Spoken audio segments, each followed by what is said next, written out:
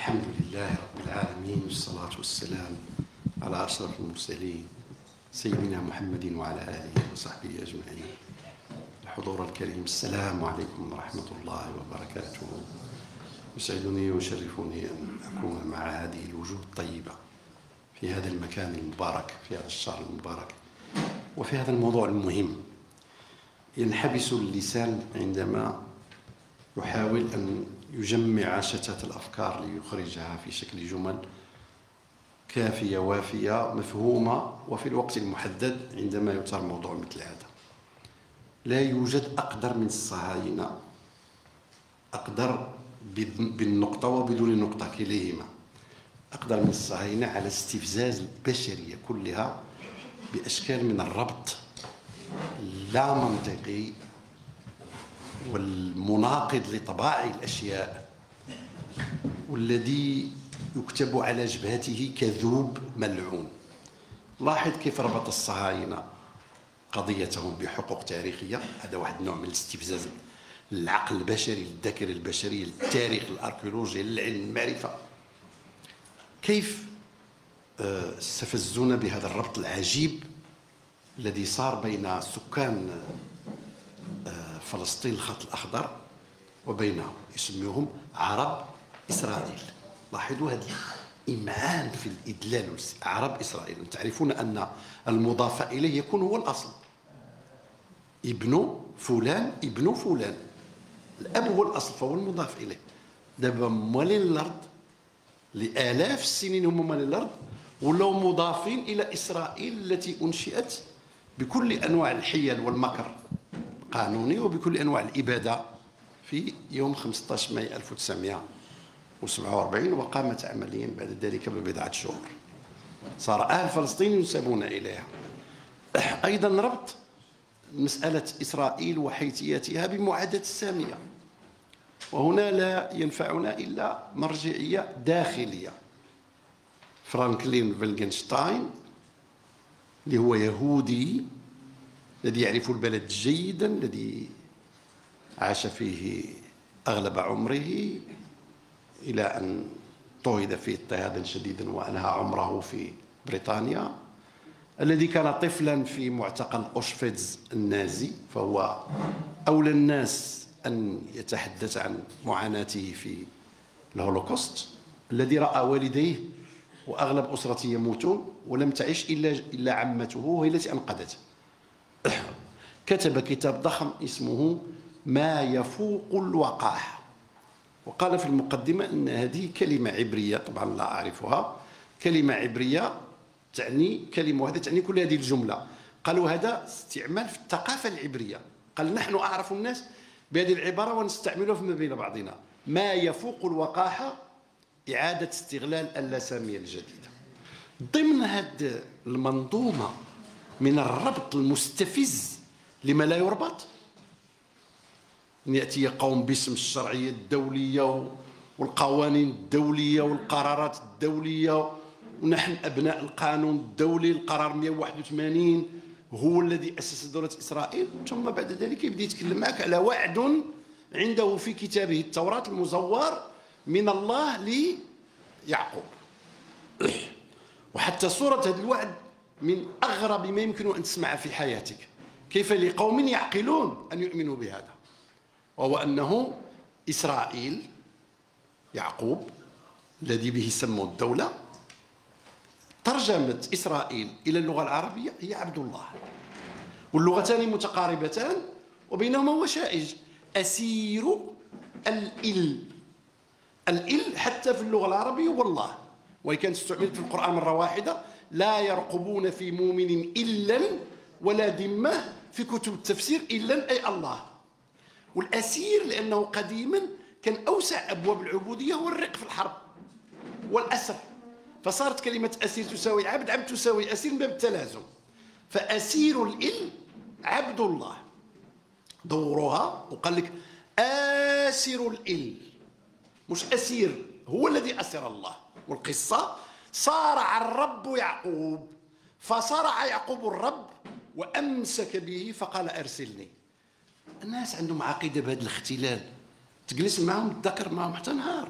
ثق به وماله فقال فقال الرب أرسلني وكان يعقوب رجلا قويا جلدا فقال لا أرسلك حتى تعطيني الوعد بفلسطين لذريتي. هذه الأشكال من الاستفزاز. اليوم نحن نعيش في المغرب محطة من هذه المحطات هو الربط المستفز بين القضية الفلسطينية وبين القضية الوطنية. لا يخرج هذا الربط عن هذا النسق العام من ربط ما لا يربط خارج أي منطق خارج أي عرف خارج أي ثقافة خارج أي نسق معرفي وخارج تاريخ اليهود الذين يمهرون ويمكرون في ربط ما لا يربط ثم يتخلصون منه في اللحظة المواتية. ولهذا طلب مني مرة أن أكتب ورقة مبسطة لتلاميذ وأرسلها إليهم. في الواتساب كتبت هذه الورقة المبسطة التي أريد أن أقرأها عليكم لأن ذهني في حالة من الألم والعياء وما حصل في القدس بالأمس أنتم كلكم تابعتموه. فأريد أن أستعين بهذه المقدمة ولو أنني عادة لا أقرأ. التطبيع ترجمة حرفية لمصطلح نورماليزاسيون الذي وضعه الصهاينة لتزييف الوعي بخصوص الاعتراف بالكيان الغاصب وإقامة علاقات دبلوماسية معه على حساب الحق الفلسطيني ومعاناة الفلسطينيين. والحقيقة أنه لا شيء طبيعي في هذا الاختيار الخاطئ لأن الكيان غير طبيعي. وأهدافه وأعماله غير طبيعيين. فكيف تكون العلاقة معه طبيعية؟ التطبيع هو لو صالحت الجزائر المغرب أو الإمارات قطر أو تصالحت الكوريتان الشمالية والجنوبية. أما مصالحة العدو الصهيوني فمعاكس للطبيعة لعدة أسباب لأنه تجاهل للحق الفلسطيني ولمعاناة الفلسطينيين وطي لصفحة مشروع تحرير النضال مجيد ودام بدأ فعليا منذ الانتداب البريطاني على فلسطين سنة 1920 لأنه إقرار للغاصب على غصبه وفرض الأمر الواقع على المظلومين وانحياز للمعتدي المحتل وإيمان بالقوة لا بالحق.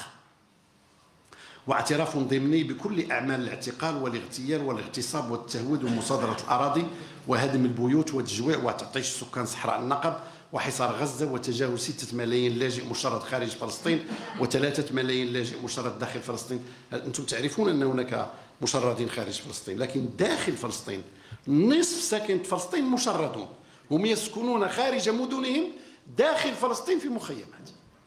محرومون من العودة إلى إلى أخبار الجزيرة هذا الصباح. تغطية لنشاط جمعية فلسطينية مناضلة اسمها جمعية صيانة التراث العمراني الفلسطيني.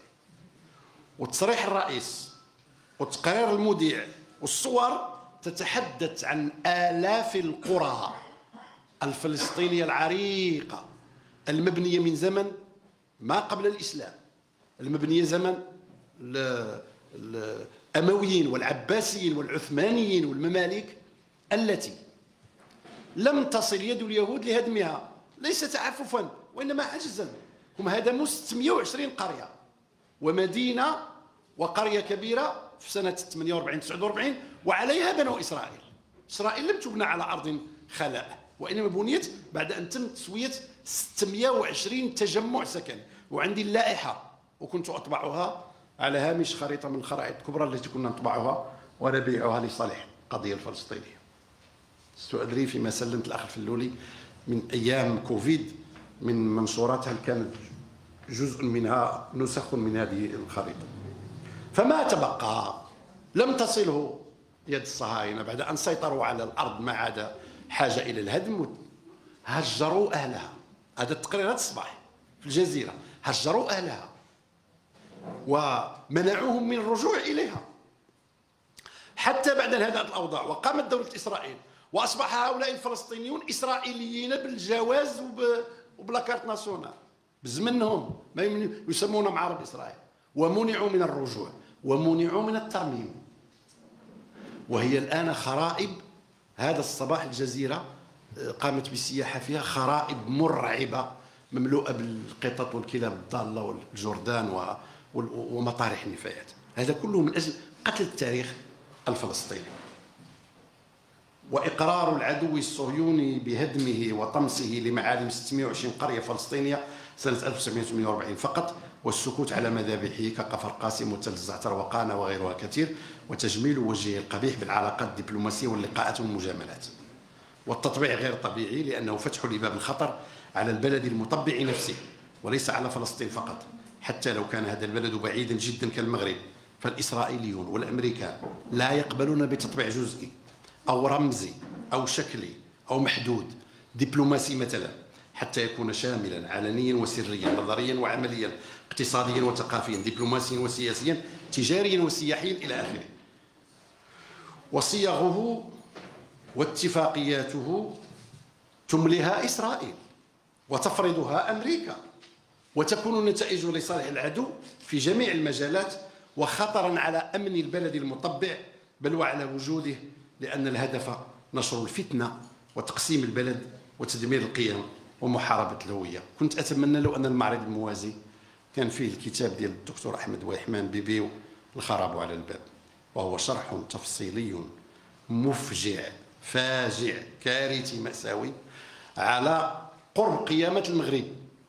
بدون مبالغة حتى وقد استهزأ به حميد زيد وغيرهم من الصحفيين المعروفين وقالوا هذا شخص مثل دون كيشوت يحارب طواحين الهواء هو يفحمهم بالوثائق بالتقارير بالمقابلات بالتصريحات بالخرائط بالأرقام بالإحصائيات. كيف تريد إسرائيل بمساعدة أمريكا تفتيت المغرب إلى ست دول ماشي جوج ماشي ثلاثة ستة؟ و les échantillons échantillon كي تقولوا المغاربة. نموذج داك الشيء اللي كتب أحمد ويحمان هو ما كتبه جاكوب كوهين في كتابه mainmise du Mossad sur Tinghir وربما كاين في المعرض. لأنه كتاب جاكوب كوهين آه، وضع الموساد يدها على تنغير وما حولها هو نموذج مثال منطقة إقليم مدينة لما كتبه ويحمان في كتابه بيبي الخرب على الباب. واللي بحالي أنا ما تعرفش الشلحة وراه شرح لنا في المقدمة شنو هي بيبيو. بيبيو هي وكوك عباد الله.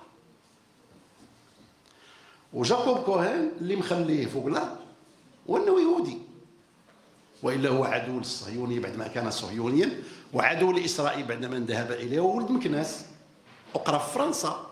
عنده باسبور مغربي وباسبور فرنساوي وكان باسبور إسرائيلي. ولما تاب وأفاق وأناب قطع الجواز الإسرائيلي وقطع إسرائيل ما كيمشيش ليها.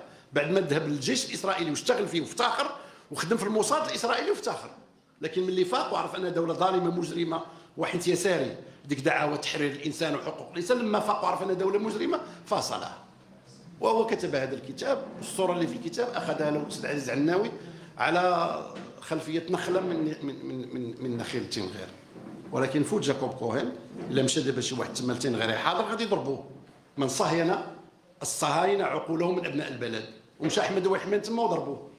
فين وصلنا في الخطر على المغرب بسبب التطبيع.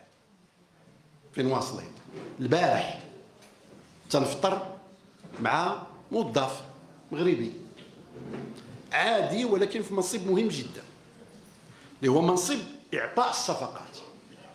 في قطاع عمومي يتحرك بالملايير وقطاع حساس يتعلق بأمن المغرب آه، اقتصاديا وغذائيا بل الشريان ديال الحياة كله.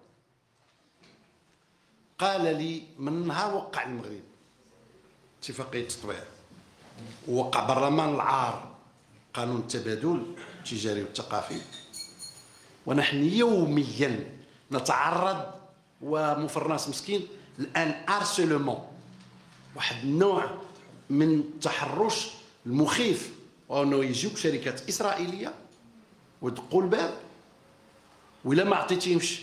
موعد يقول لك حنا مصيفطنا فلان وفرت لأن. واش بصح ولا كذوب المهم؟ تيخلعوك بالأسماء الوازنه في البلد وتيجيو عندك بلا حياء تيقولوا حنا إسرائيليين شركة إسرائيلية حنا مدعومين من فلان مشروكين مع فلان صيفطنا فلان مشجعنا فلان جابنا فلان عطينا الصفقة.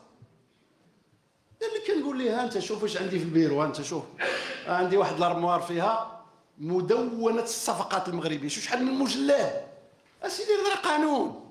هذا ماشي زبالة. ديال بوك الكلب تجي له وتاخذ الصفقة. أنا ملزم بهذا الشيء. قلت لا لا شو كيدير أنا اللي خصنا ناخذ هذه الصفقة. أنا دابا فتنا التطبيع وفتنا ضيعنا فلسطين وفتنا الصحراء اللي ولات ريح. وباقي شي حد كيدوي على الصحراء؟ لا في أمريكا ولا في إسرائيل ولا هادو. حتى المنافقين ديالنا حنا اللي طبقوا باقي شي واحد كيجبد الصحراء مع التطبيع كيجبد التطبيع بوحدو. باش قلت لكم والله ما نقرا ونسكت لأن الحالة ديالي النفسية مع هذا الشيء اللي أنا ما ظنيتش نعيش تنشوف.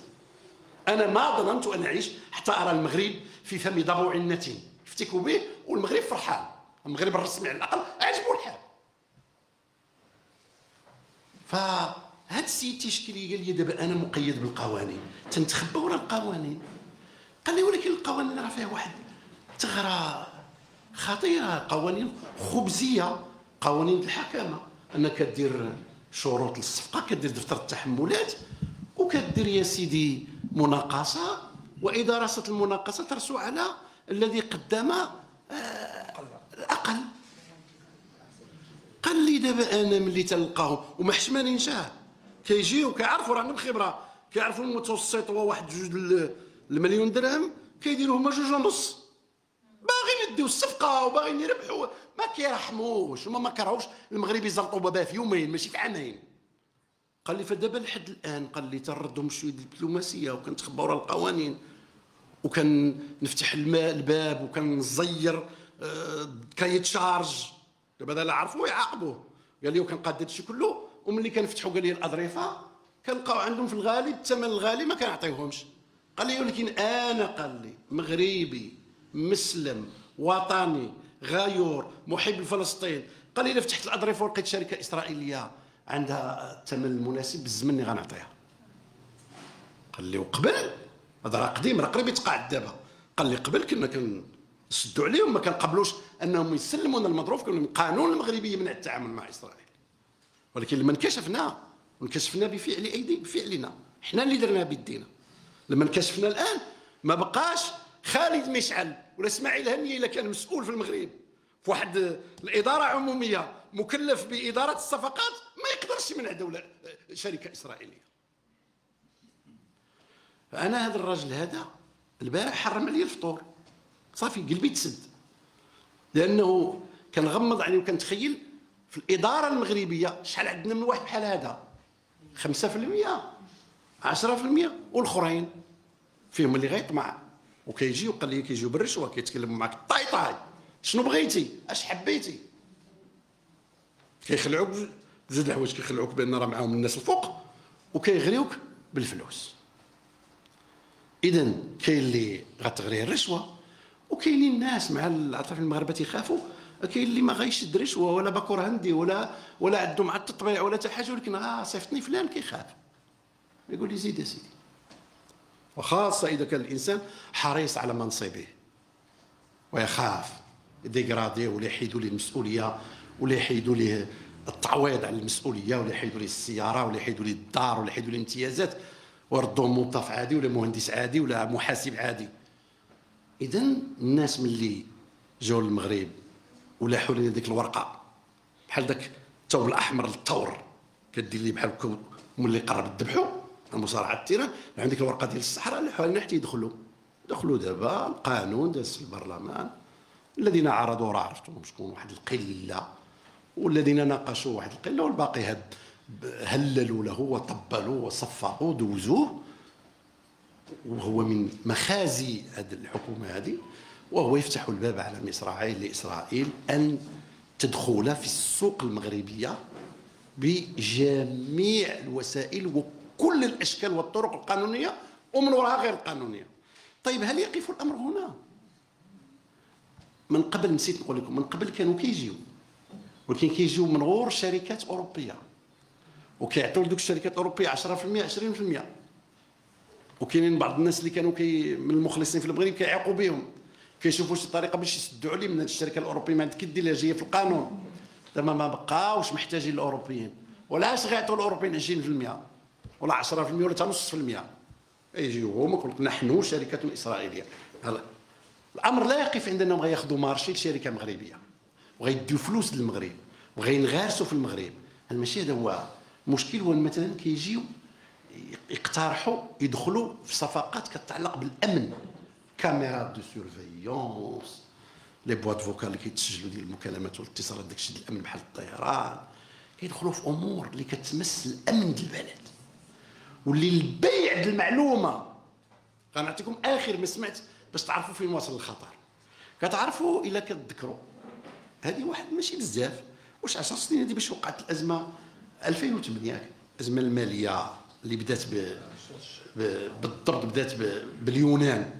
وتكلموا على أن اليونان أفلست.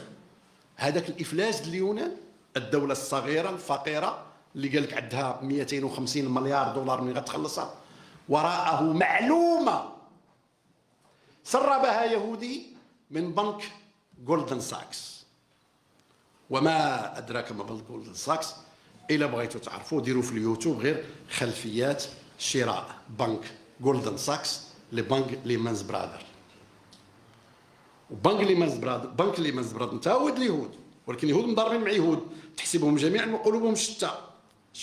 هكذا وصفهم القران شوف نتنياهو والخصوم ديالو فين واصلة القضية. فهم ليسوا أقوياء إحنا اللي ضعاف ما هما الله خلقهم هكذا وقراو في سورة البقرة تحسبهم ديما بيناتهم تقاتل. ليمانز برادر عمره 170 سنة. حزب آه، بنك عريق. كان وراء تفليسه بنك جولدن ساكس دار له بنك جولدن ديال اليهود. دار له المناشيب تنشبوا طيحوا وشرح كالو. افترسه. بحال العنكبوت كتفترس الذكر ديالها. إلى شفتوا فيديو وثائقي عنوانه خلفية استيلاء جولدن ساكس على ليمانز برادر غتعرفوا شنو هو الجولدن ساكس راه واحد المؤسسة بنكية صهيونية خطيرة وأقل ما تفعل هو المعاملات المالية. وخدمات الاستبناك. كاينة واحد القولة ماشي أنا اللي جبتها قولة إسرائيلية جزء من الثقافة اليهودية. استدل بها شمعون بيريز في كتابه الخطير الذي حاضرت به طويلا وهو الشرق الأوسط الجديد والكتاب مكتوب أساسا للإسرائيليين. إحنا غير بالتبع قريناه وهو خطاب لهم لإقناعهم بالمصالحة مع منظمة التحرير الفلسطينية. وإقامة هذا الشيء اللي وقع من بعد ذلك بسنوات قليلة وشارك هو فيه اللي هو أوسلو اللي هو غزة أريحة. في سياق الكلام قال لهم خصكم تخلاو على حلم إسرائيل الكبرى جغرافيا. نحن سنعوضها بإسرائيل الكبرى اقتصاديا وسياسيا ودبلوماسيا أي حضاريا. ويلا يلا يلا حتى كيقنع في اليهود كيديروا معاهم واحد الوقت كاع نسى الكتاب غيترجم بالانجليزيه ويقرأ العالم. كاتبوا بالعبريه وديروا خطاب سياسي. كيقول لهم ألسنا نحن الإسرائيليين؟ من نشيع فيما بيننا المثل المشهور إن البنوك أخطر من الدبابات. آه سمعت هذا المثل قريته في كتابه.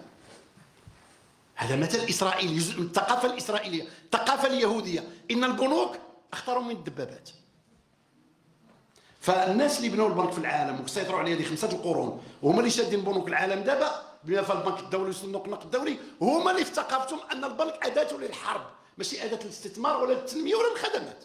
ماشي أنا اللي كنقول هذا الشيء هذا الجولدن ساكس واش كتسحب وطيح بنك سميتو ليمانز برادر؟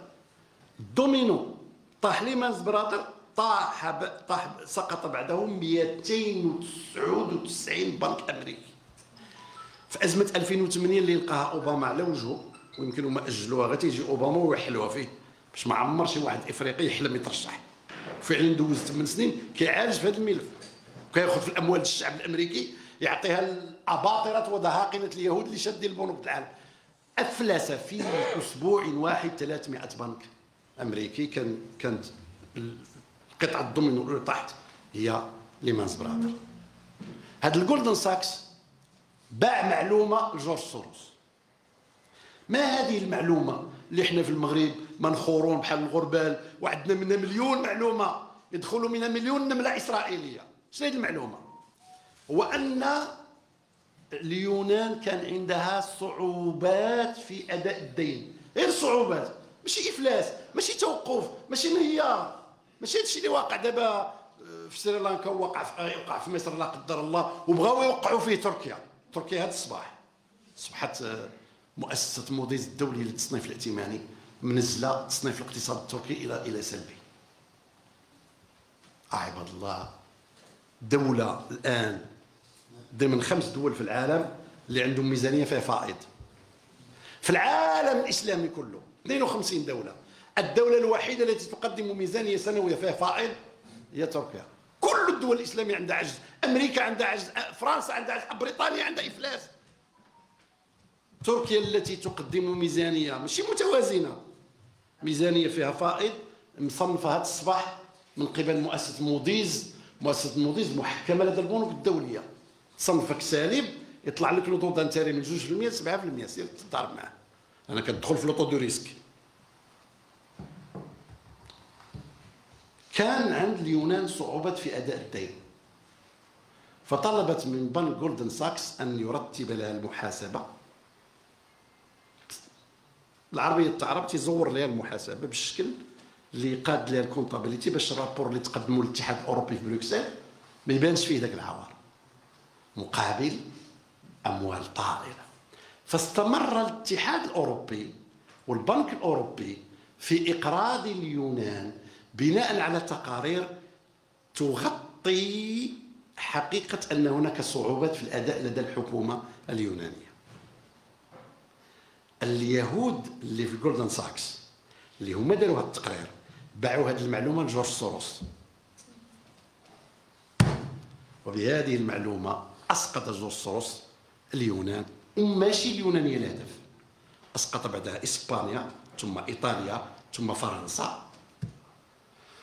والهدف طبعا جورج سوروس يكتب هو رجل شرير اقتصادي ولكن كاتب تكتب. وتكتب في الصحف الكبرى في بريطانيا وفي أمريكا كيكتب هو باغي يطيح الاورو ما حشماش وهو يحقد على الصين لأنها تشتري الاورو فتنقذه من السقوط. لأنه هو تيقول بوجوه حمر هذه 20 عام أنا ما عمري يعجبني يكون الأورو بغيت نحيد الأورو ونخليها الدولار. حيت خصو يلعب بوحده هو في السوق. الدولار ما عنده قيمة ما عنده مرجعية ما عنده سند ما عنده اتصال بالذهب. الدولار يطبع منذ خمسين عاما بقيمة أقل من قيمة الورق الذي يطبع عليه وكيتباع بالنفوذ الأمريكي والسمعة الأمريكية والثقة الأمريكية. وخصو يلعب في هذا الشيء. وهو في آخر مقالته يسب الصين لأنها اشترت ملايير الأوروهات لكي تنوع سلة نقودها. مش حب حب في الأوروبية وديروا أشرف إبراهيم. هذاك الوليد راه إنسان جاد يقدم المعرفة في زمن التفاهة قليل اللي كيقدم المعرفة. كيألمني إنني نشوف الفيديوهات ديالو مخير فيهم كيوصل 300000 وعطيني ساكي 7 المليون. كارثة. أغنية ديال كوريا جوج المليار. قهوة بحليب.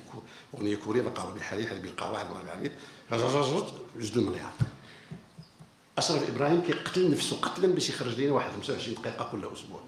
ديروا أشرف إبراهيم المخبر الاقتصادي بلاس وتصنتوا العلم مدقق وشوفوا جورج سوروس كيف يستهدفوا. أوروبا هذو خوتهم حبابهم ولاد عمهم جنسهم ملتهم دينهم. اش كيديروا فيهم؟ أنا نعاود لكم حاجة أخرى. غادي دير وقت كيفاش اليهود يفكروا. الواقع جلست مع رجل مسؤول إعلامي واحد الوقت كان عنده أخطر مسؤولية إعلامية في العالم الإسلامي. ما نقدرش نقول سميتو لأنه ما عطانيش الإذن.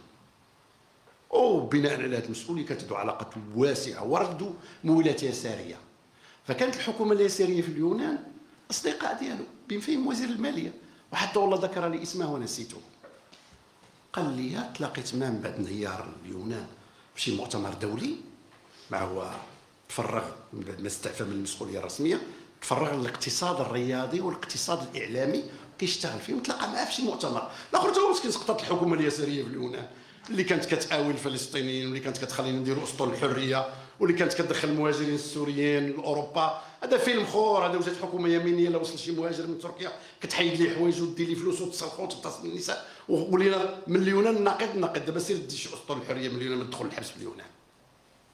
مع التشديد على المسلمين وقصه أخرى. هادشي غير من الحكومة. الحكومة في اليونان. الدولة ما عندهاش وزن كبير ولكن عندها موقع استراتيجي وعندها عضويه في الاتحاد الأوروبي. تلقى معاه قال لي اش ديك القصة ديك الهايلامان كله واحد الصباح صبحنا كندوي على اليونان اليونان كتذكر واحد الوقت. الازمه اليونانية اللي كاينة بحال أوكرانيا درك قال له أجي تسمعني ما عمرك سمعتي. قال له واحد النهار كيصوني التليفون وأنا وزير المالية. ألو شكون؟ جورج سوروس. أش بغيتي؟ قال لي راه كنضرب للرئيس اليوناني راه ما بغاش يجاوبني ما بغاش يجاوبني.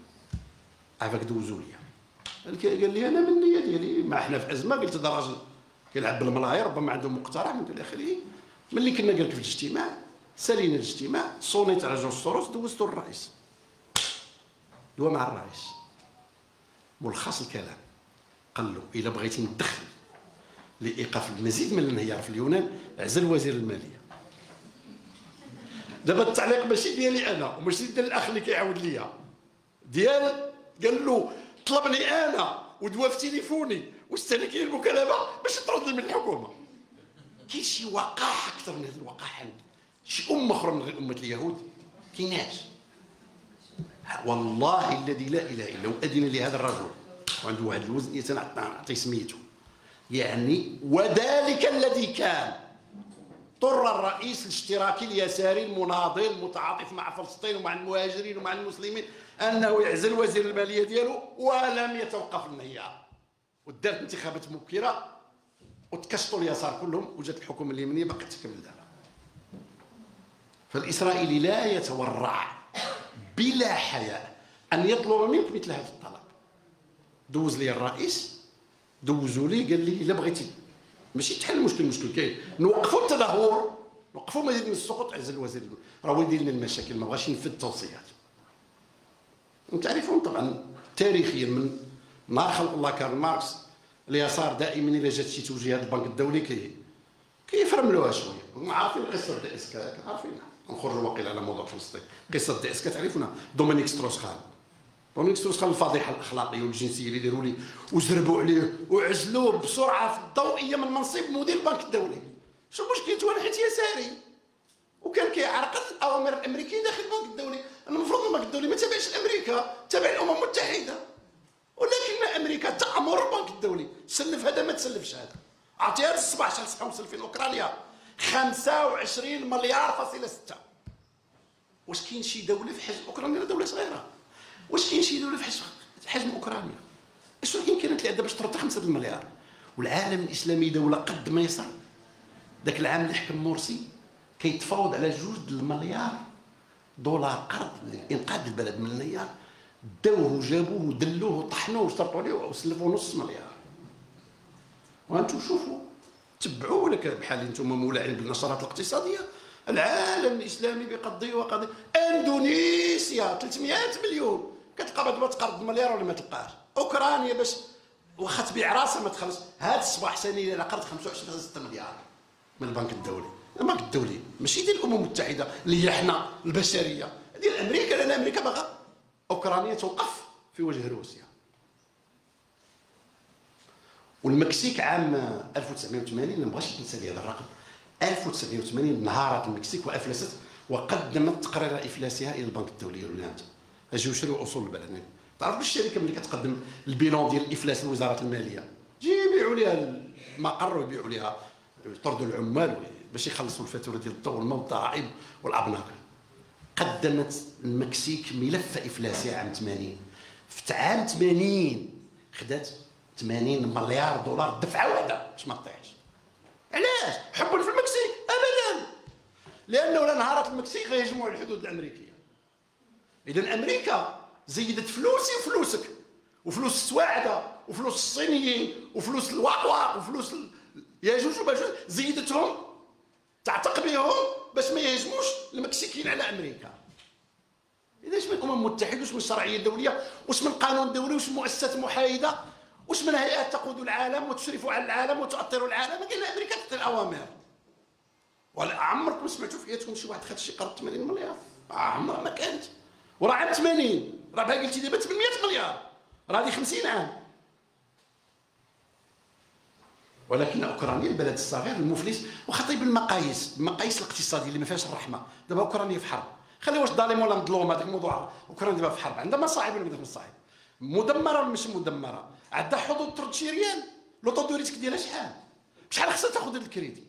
الخبر راه جابوه لينا غدا قلب لي تلقى خدات كريدي بشي 0.25% ديال التوطان تاعي بحال السلام عليكم. حض ربع في المئة.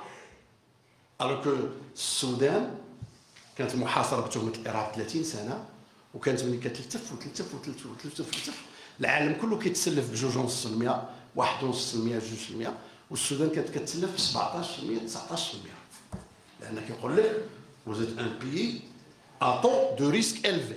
هكذا كيخسر شي كيخسروا عليك.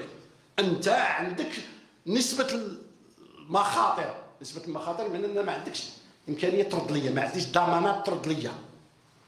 نزيد عليك. اليوم لما فتحنا هذا الخطر على بلادنا الصيغة تفرضها أمريكا تكتبها إسرائيل ينفذها المغرب في جميع المجالات. والنتيجة النهائية إشعال الفتنة.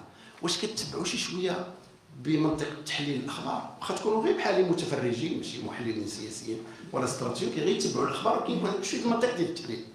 كتلاحظوا جزء من التصريحات ديال الإسرائيليين كلها لإشعال الفتنة بين المغرب والجزائر. ما بقاوش كيدويو على الصحراء؟ شكون دابا جاب الصداع على قضية الحدود الشرقية؟ تصريحات اسرائيليه شكون اللي تيهدد الجزائر عند عندها موقف من التطبيع قوي؟ بالمغرب إسرائيل. شكون اللي كيجي عندنا تيوقف في الرباط؟ عادي لا ضد الجزائر باش يشعل العافيه إسرائيلي. وهم من المقابل حتى لم يتبرعوا وهم لا يتبرعون. علينا بموقف صريح. راه ما كاينش غير الخبر اللي قال السلف اللولي ديال نتنياهو واقف وراء خريطة مقطوعة. واش كتحب لك داكشي خطأ؟ ولا سهو راه كيحسبوا بالمليمتر في ذاك المشهد. انت راه صناعة الصورة. عاودوا نخرجوا للموضوع آخر. سيروا قراو هربرت شلر وقراو جيري ماندر وقراو بيير بورديو. وشوفوا الإعلام كيفاش كيتعبر بالمليمتر شحال ديك الوقفة. كانوا ناسيين بحالنا حنا وخلاو داكشي راه مدروس. ورسالة لينا حنا الاولين لا تحلموا. ان نعطيكم هذا الموقف. ولا شو حمق يعطوك هذا الموقف باش ترتاح.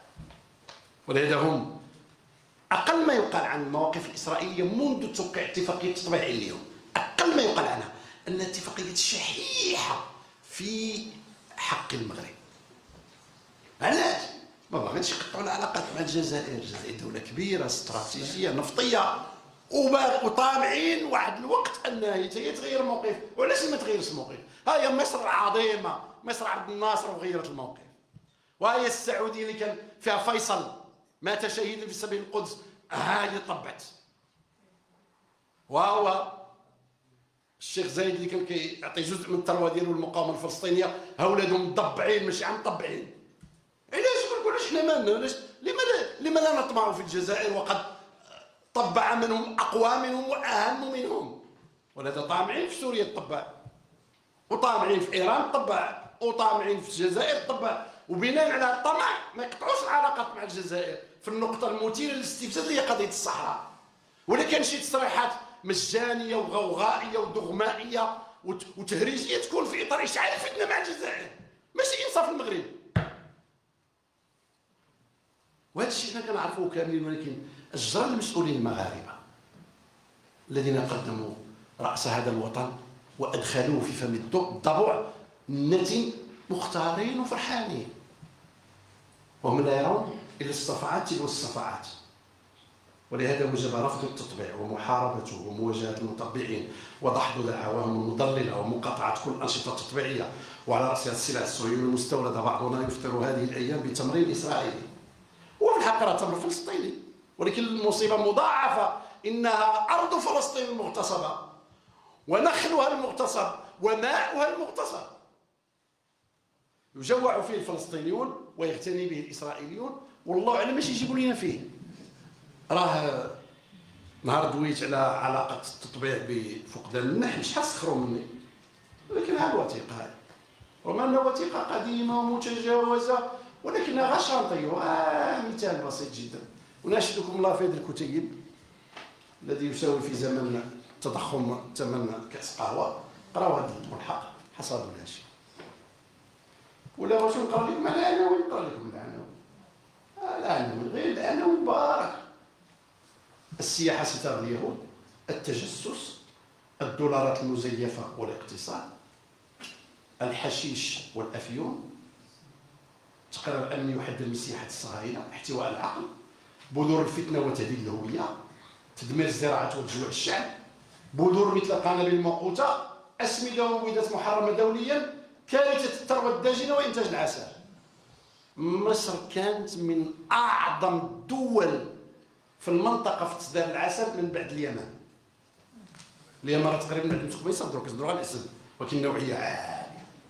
من بعد منهم يمكن النوعية في اليمن أحسن ولكن الكمية في مصر. مصر اليوم تستورد تقريبا العسل 100% لقد دمر اليهود عن طريق أساليبهم خلايا النحل بالكامل هادشي كيف التقرير الأمني؟ هذا ملخص وملخص ملخص التقرير الأمني كتبه الأمن المصري. هذا تقرير ديال البوليس المصري ماشي ديالي أنا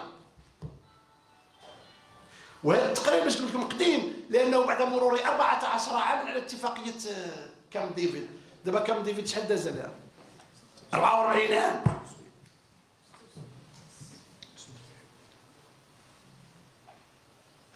والأمن المصري يكتب وكيحتاط لأنه كيخاف. لأنه التوجهات السياسيه ديال بلادو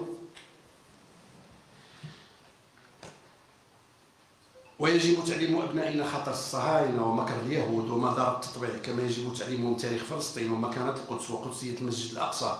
وتاريخ الوجود الإسلامي هناك مما يعزز الوعي الصحيح بالقضية عندهم إيمانيا ومعرفيا ويحفزهم لدعم القضية الفلسطينية والشعب الفلسطيني ماديا ومعنويا. مراجع مهمة لمعرفة خطر التطبيع. دكتور أحمد ويحمان بيبيو. خربوا على الباب الدكتور مصطفى الحياة وجاء دور التطبيع الأستاذ أبو زيد المقري الإدريسي أفهم القضية الفلسطينية ليكون لي موقف. جاكوب كوهين ميز دو موساد سورتين غير. وغيرها كثير. انايا هنا عندي ملحق آخر من غير هذا الملحق الحصر الهشيم اللي هو ملحق كتب لابد أن تقرأ. ونتمنى الله سبحانه وتعالى اللي شرى الكتيب بثمن كاس قهوه أنه اقرا هذه اللائحه هذه كتب لابد أن تقرا جمعت لكم هنا رحلة ديال 50 سنة مع فلسطين. أضخم جناح عندي في المكتبة ديالي هو الجناح الفلسطيني وأفتخر به. وعندي يمكن نقول ما قد لا يوجد في بعض مراكز الدراسات الاستراتيجية عن فلسطين عندي كوثائق ولهذا جمعت لكم هنا واحد العدد ديال الوثائق مهمة جدا. اقترحت عليكم أنكم تقراوها بالعربية بالفرنسية بالإنجليزية ولكن أغلبها بالعربية أو مترجم اليوم بعد أن تبخر كل شيء وسمعت آخر المهازي وراه متساهل شتي اللي عطى حل كل عدو؟ أليس عفوا سمعت آخر المازل منذ شهور. أمريكا تقترح أنها تحول قرار فتح القنصلية الأمريكية في الداخلة إلى قنصلية إلكترونية. ولاش راهي واحد يدير بوابة إلكترونية كان خصنا نديرو هاد الهايلومان ونديرو هذا التطبيع ونخونوا القضية الفلسطينية وندمروا راسنا ونطبق عنا قول آه، الشاعر في الحمقى نرقع ديننا نمزق ديننا لترقيع دنيانا فلا ديننا يبقى ولا ما نرقعه حفظوا معي هذا البيت. هذا شاعر عربي قديم كيدعو عن الحمقى من أمثالنا. نمزق ديننا لترقيع دنيانا فلا ديننا يبقى ولا ما نرقعه إلا ما عندكمش مع الشعر التقليدي هاكو الشعر الحديث. أحمد مطر فوالينا أدام الله والينا. رآنا أمة وسطا فما أبقى لنا دنيا ولا أبقى لنا دينا. نعاود لكم عاود باش تحفظوا معايا. واخا هذيك كدير الحبس ما كاين مشكل فوالينا أدام الله والينا. رآنا أمة وسطا.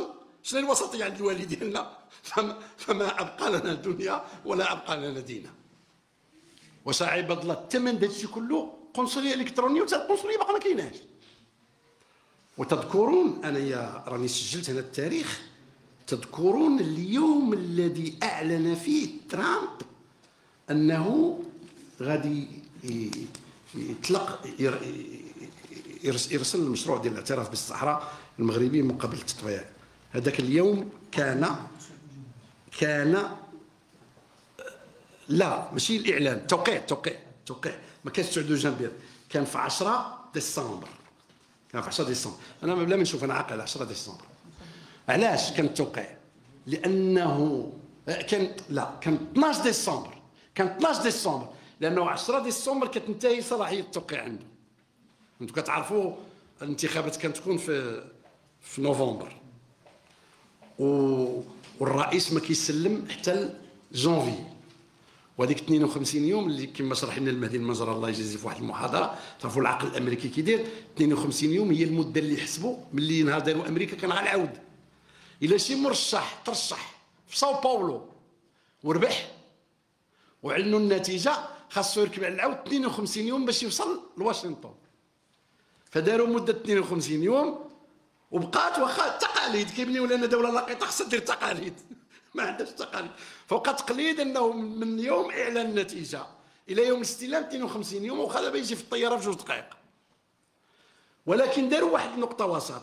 هذاك الرئيس كيبقى يمارس من إعلان النتائج التوقيع إلى يوم 10 ديسمبر. يوم 10 ديسمبر واخا كيبقى في البيت الأبيض حتى تقريبا واش 11 أو 15 جونفي ما كيوقعش. هو وقع عليها بعد ما دازت يومين على الصلاحيات ديالو. ماذا؟ يريد ترامب بذلك. يستمر في خديعة المغرب وفي نفس الوقت يعطي فجوه البايدن إلى جا وراه وبغى يتراجع القرار يطعن فيه بواحد الشكلية تافهه وأنه موقع يومين بعد انتهاء سلطة التوقيع لدى الرئيس الخارجي. le président sortant كي تيقولوا رئيس المهزوم. يعني واحد شرى من عندك العرض ديالك. فلوس. بعت له عرضك بفلوس وملي ديتي الفلوس لقيتيهم مزور عملة مزورة. باقي أكثر من هذا الهوان. تا اللي رضى يبيع عرضه بالفلوس وصبح عنده ديك الوظيفة اللي ما كتسماش ما نقدش نقولها واخا نكون ما صايمش. ملي جا لقى لقى العملة مزورة. واليوم يمكن لبايدن وغير بايدن أن يتراجع عن هذا القرار. وماشي ضروري نعلنوا القرار كاع ماشي ضروري نعلنوا القرار علاش؟ عندنا واحد حد انت هكذا على قدرة أمريكا على التراجع عن القرارات. لا حد وانت هكذا. إي نعم ها هو مسجلوا ها هو مسجلوا هذاك ماشي داخل في سياق التراجع بغيت نتكلم على التراجع. أمريكا تسني لك 10 signatures 6000 signature مليار signature 8 طن المداد وتنقذك الغد لي وتخرج فيك عينيها. من يلزم أمريكا؟ إذا تراجعت. وغنعطيكم أمثلة سريعة. المغرب كيقولوا أول دولة اعترفت بأمريكا سنة 1777 هي توقع اتفاقية التعاون والتبادل عمر أمريكا تفكرت هذا الشيء. حتى النهار بغى ترامب يتخذ القرار. عاد القرار خرج فيه الجملة الأولى. المغرب هو أول دولة اعترفت بأمريكا واليد شحال دابا 250 عام. لا أذكر أن أمريكا ذكرت هذا الأمر إلا مرة واحدة وهي ملي بغاو القواعد العسكرية الأمريكية تانستالو في المغرب في إطار الحرب العالمية الثانية ضد ألمانيا. فاش درت قاعدة بن قرير قاعدة النواصر وقاعدة القنيطرة. وانطلق هذاك النهار عاد تفكروا 1777 حتى 1942 عاد تفكروا ونساو عاود الذاكره عنده بال bouton. ال bouton pragmatique. ماكيافيلي عاد تفكروها دابا. وهما تفكروها. هما ما تنساوش غير كينسيو. هل تعلمون بأن المغرب هو أول دولة اعترفت بالولايات المتحدة الأمريكية؟ واشتبك الأسطول المغربي مع الأسطول الأمريكي في حرب مفنيه أمام السواحل الليبية بعد ذلك بعدة شهور. ما ينساوها. المغرب ديك كان عندهم منطقة آخر سياق آخر ديال السيادة والإسلام والعزة. الميريكان يلاه قاموا بقى عندهم حرب مع بريطانيا. شحال بقاو كيتحاربوا مع بريطانيا من بعد قيام دولة أمريكا؟ بعد ما انتهاء الثورة ما يسمى الثورة انتهت.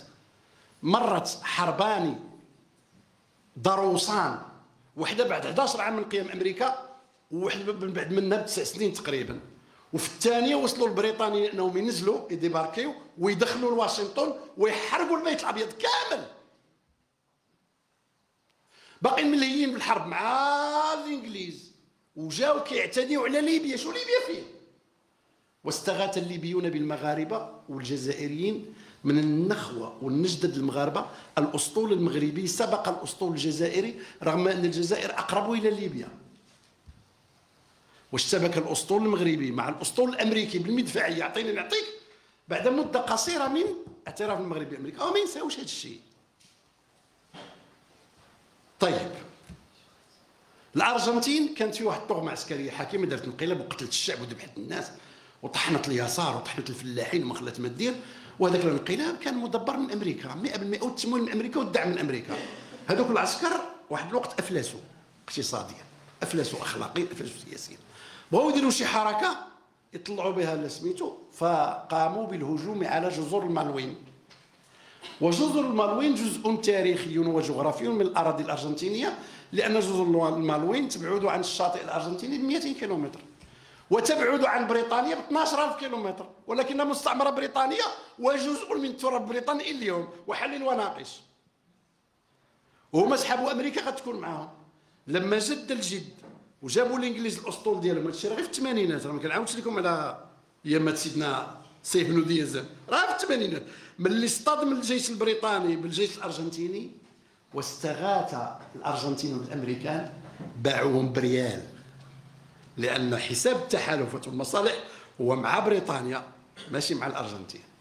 رغم أن الأرجنتين أقرب جغرافيا والأرجنتين ضيعة فيرما ديال الامريكان كينهبوها ولكن لا هذاك تحالف آخر على مستوى آخر. سياسي وتاريخي وديني واستراتيجي وعرقي. لما أراد الأمريكان أن يخرجوا الإنجليز. حيت الامريكان راهم الإنجليز عارفين هادشي راهم الإنجليز انقسموا على جوج الانجليز اللي بغاو يستقلوا والإنجليز مع اللي مع جلالة الملك اللي باقي عندهم la loyauté لما أراد الأمريكا يخرجوا الإنجليز اش جاو جاو عند الهنود الحمر كانوا باقيين قوة باقيين شادين ثلثين البلاد وعندهم قوة تحالفوا معاهم. هذوك ماشي ساهلين 30 قبيلة 30 شعب. حتى هما ناقشوا القضية تفاوضوا فيها على الآخر انقسموا إلى ثلاثة أقسام. قسم اللي بغى الحياد قال أنا ما ندخلش في هذه الحرب. وقسم تحالف مع بريطانيا. وقسم تحالف مع الثورة. ما يسمى الثورة ديال جورج واشنطن.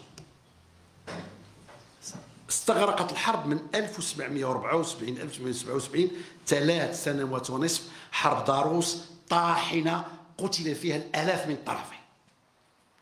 وقتل داخل هذه الحرب الهنود كيتسموا الشيروكي الذين قاتلوا مع الإنجليز والوانادو الذين قاتلوا مع لما انهزموا الإنجليز وأفلسوا ماليا وعجزوا عن السيطرة وقرروا الانسحاب بداو كينسحبوا من الأراضي ديالهم لما نسلموها المفروض.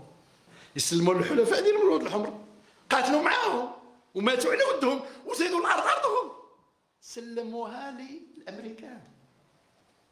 ولا مترو. من بعد سال هذا الشيء كله. ما بقاوش الإنجليز كاينين بقاو على الأمريكان. عاود بداو كيتفاوضوا مع الهنود الحمر على السلم انقسم الهنود الحمر إلى قسمين قسم محارب وقسم مقاتل واحتفظوا بالإسمين القديمين الشروكي والوانادو. هذه العملية استمرت قرنين كاملين قرنين كاملين. لما سالوا من المقاتلين جاوا المسالمين وذبحوهم كاملين. عقلوش عليهم. منير العكس. عنده واحد الكتاب سميتو ضخم سميتو دولة فلسطين دولة الهنود الحمر لأجل فلسطين. كيدير واحد المقابلة ما بين الطريقة باش يتعاملوا مع الهنود الحمر والطريقة باش الإسرائيليين كيتعاملوا مع الفلسطينيين. مفاوضات وغدر مفاوضات وغدر مفاوضات وغدر. داير فيه واحد الترسانة الخرائط لا تخطر لكم على بال. التي كان يوقع عليها الأمريكيون كل 30 40 20 سنة في أي آه، اتفاقية هدنة. ووقف إطلاق النار وافتراق الصفين كيجلسوا تيرسموا خرائط كتكون استجد في هذه الخرائط مواقع كسبها الأوروبيون ضد الهنود الحمر.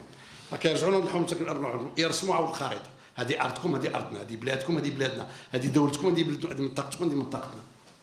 بحال هذيك الخرائط اللي داروا في أوسلو وبحال الخرائط اللي داروا في غزة أريحة وداروها في التعديلات ديال تنت وداروها مع السادات. كل هذه الخرائط فيها اعتراف للهنود الحمر بأراضي تكون دولة مستقلة ذات سيادة.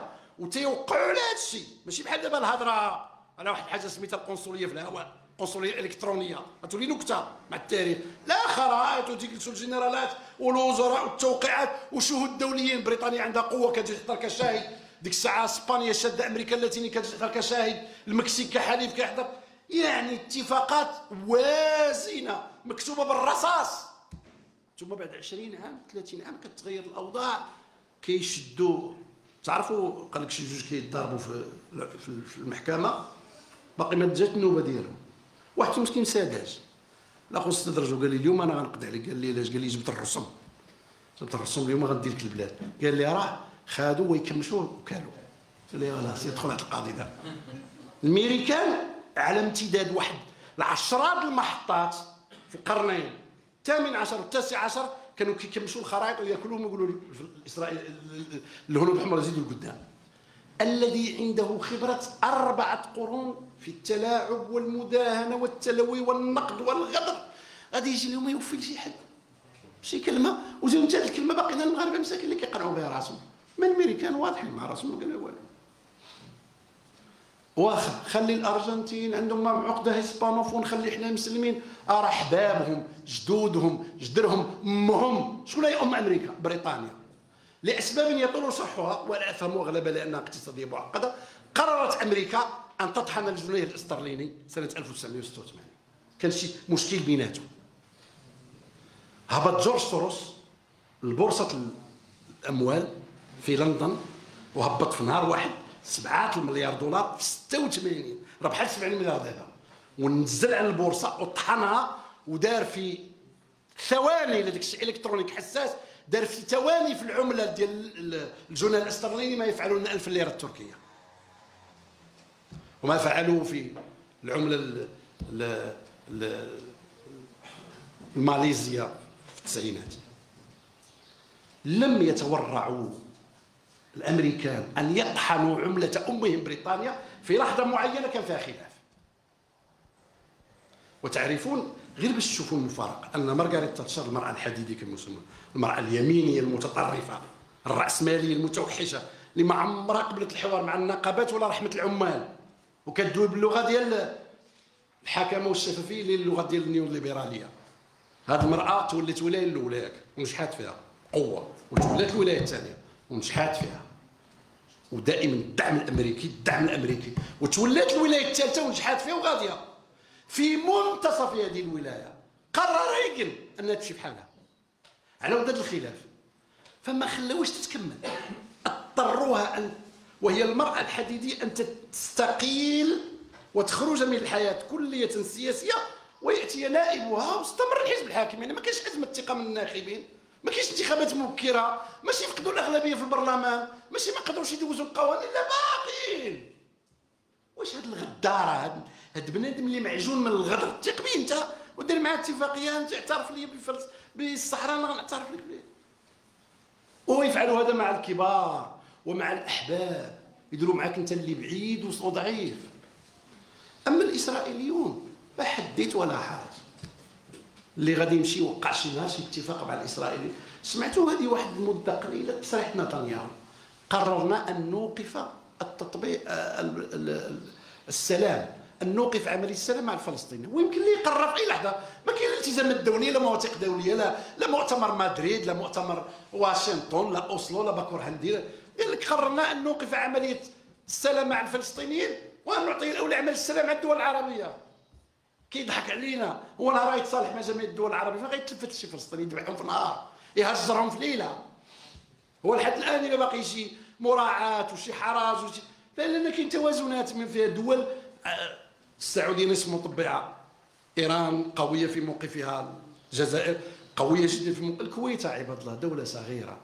عندها واحد الموقف من التطبيع مشرف راديكالي. ادرك لا غنقارنوها مع المغرب. باش تقارن المغرب مع الكويت؟ الكويت دوله صغيرة المغرب دولة كبيرة الكويت دوله حديثة العهد المغرب دولة عريقة.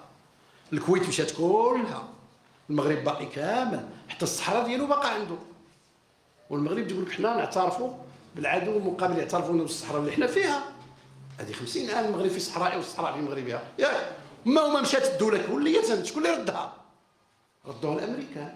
أنا كنت كنتوقع بعد أن قام الأمريكان بحرب لأجل استرجاع الكويت واستنقاذها من العراق أن الكويت غادي تولي واحد الدولة تتمشى بال télécommande فإذا به اليوم الاسره الحاكمه عندها موقف راديكالي من التطبيع البرلمان الكويتي عنده موقف راديكالي من التطبيع الأحزاب عندها موقف جنوني من التطبيع الحكومة لدرجة تخرجوا قوانين مؤخرا فيها واحد المستوى من التجريم لا يتصور. اللي زار إسرائيل يدخل الحبس. اللي استقبل اسرائيلي يدخل الحبس. اللي جاب سلعه إسرائيل يدخل الحبس. آخر قرار صدر من البرلمان الكويتي قبل حله اللي كتب إسرائيل وما دارش بين مزدوجتين ودار حدا الكيان الوهمي يتعاقب. ها عباد الله مشات لهم دولتهم ودولة صغيرة. صغر من إقليم من الأقاليم الصغرى في المغرب. ومشات الدول الامريكان وقالوا لهذاك الأمير الله يرحمه قالوا له حنا ثلاثة الحوايج. باش نعاودوا نقضوا الكويت. الأولى تطبيع مع إسرائيل. الثانية قضاء على العمل الخيري. الثالثة قضاء على الحركة الإسلامية. قال لهم طلبوا أي حاجة. هاد الثلاثة أنا ما نقدرش أنا ما يمكن ليش. هادو معجونين في الكينونة ديال الإنسان الكويتي. الا طلبوا لي نشد الشعب الكويتي كله نلوحو في البحر. يمكن نقدر نديرها ما ندير هادو ثلاثة قال لهم كل شيء. طبعا لا أحد ينكر أن دولة الكويت أدت ثمن غالي سياسيا وماليا وحضاريا وامنيا باش ترجع كدولة. صدام التهمها في نهار هذه أخطائنا اللي كنديروا.